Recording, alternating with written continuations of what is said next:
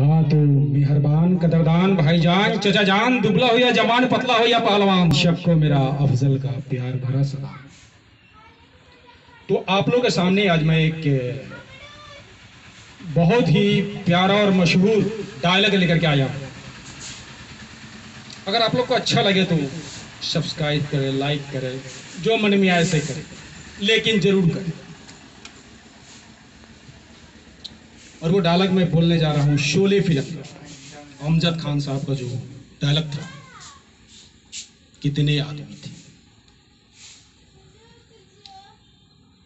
हम्म,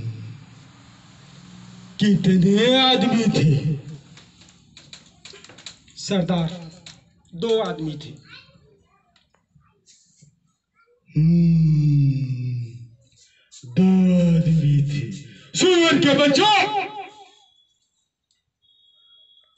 तुम तीन थे और वो दो। फिर भी खाली हाथ चले आए।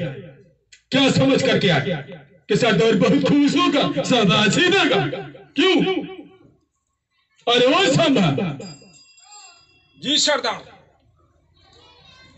सरकार ने हम पर कितना इनाम रखा है? सरदार पूरे पचास हज़ार। हम्म, सुना पूरे पचास हज़ार। ये इनाम क्यों रखा है तुझे मालूम है?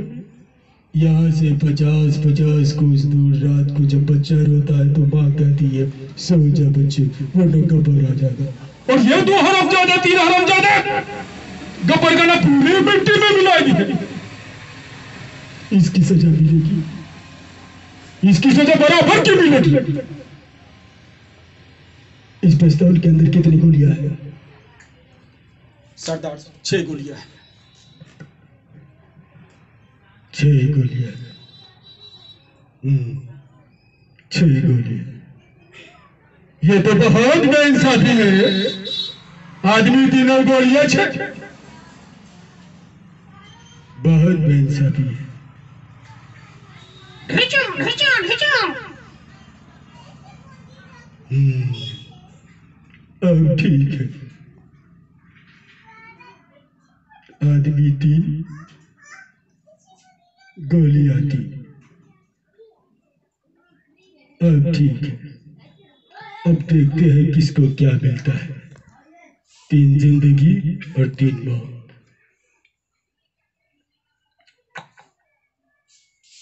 बच गया साला।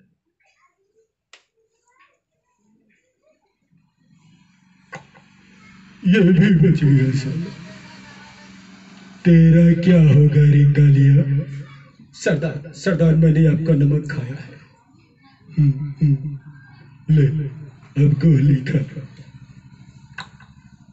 ये भी बच गए तीनों के तीनों बच गए